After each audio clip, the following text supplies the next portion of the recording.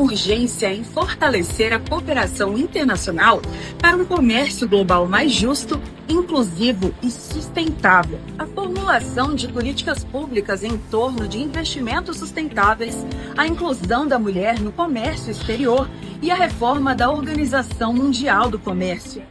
Esses são os eixos prioritários consensuados pelos ministros de Comércio e Investimentos do G20.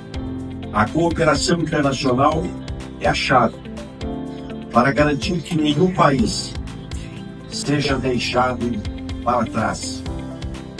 E o Brasil acredita firmemente que o G20 pode ser o catalisador desse progresso impulsionando novos arranjos comerciais que garantam em todos os continentes complementariedade e integração econômicas.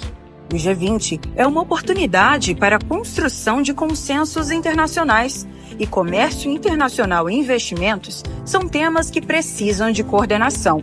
É, hoje, no mundo, a visão é muito diferente sobre esses dois temas, sobre comércio e investimentos, e, portanto, o G20 oferece esse foro, essa oportunidade para a construção de convergências. No mundo de hoje, isso não é fácil, mas para a presidência brasileira esse tema é importantíssimo, de maneira que nós priorizamos essa agenda.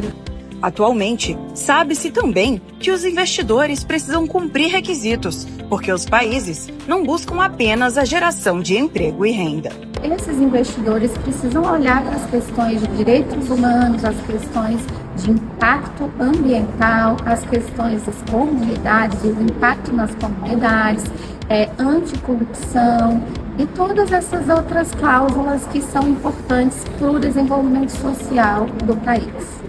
O pacote de consensos de comércio e investimentos do G20 segue agora para a cúpula de líderes, que acontece em novembro no Rio de Janeiro.